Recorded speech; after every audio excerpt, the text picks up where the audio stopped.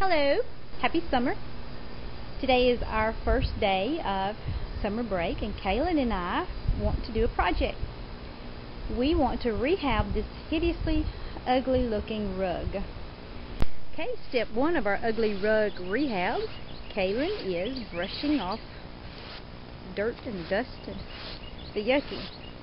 This is our ugly rug.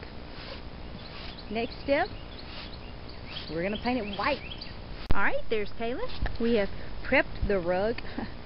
well, you know, we just dusted it. Alright, she's dipping into the white paint. And we are going to begin our project.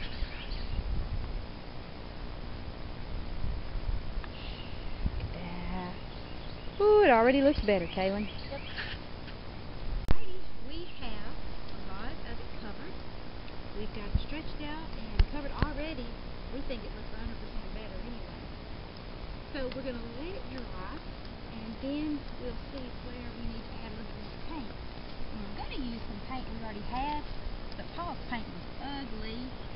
So we're going to make a trip to Walmart and pick up a little bit more paint so we can have it covered. We, we left over paint. Okay, next step, let it dry. Alright, our rug is now some shade of white and to dry. We're going to combat and get some paint. We'll come back and we'll put our design. Cat friendly design. Well, today is the day we finish. I kept thinking, and Kaylin and I were talking about the color choices, and I think this pink right here, I think it should have been brown to tie in with those, so got my brown out and gonna redo it. Stay tuned. Alright, I left it half and half so you can see the brown and the pink. And I think I'm going to be okay with that brown. We're going with, uh, or attempted to go with some sort of 70s color scheme, and I think we missed the mark. Um, but still, I like it anyway. I think it's more of an Art Deco look than a 70s. But anyway, I think we're going to be pleased with it. But that's the difference in the brown and the pink. And I'll finish up with the brown and then we'll start filling in the blocks. Well, here is the finished product. We are done. Put a fork in us. We're done. Kaylin loves it. And I think we missed the 70s theme, 70s style slightly. But that's okay. We like it. We're content. And I guess if we had it all to do again, Kaylin and I thought that maybe we should have painted the bottom brown instead of white. Just because of our style that we were doing.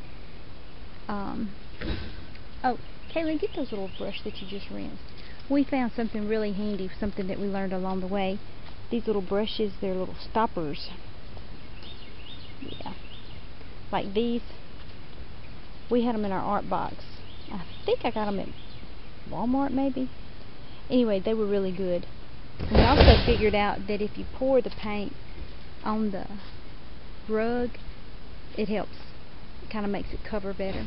There's spots that aren't perfect, but that's okay. It's ours. It was a fun project, and it didn't take us very long. I hope that if you have an old rug around that's ugly, just turn it over, because this side is so much better.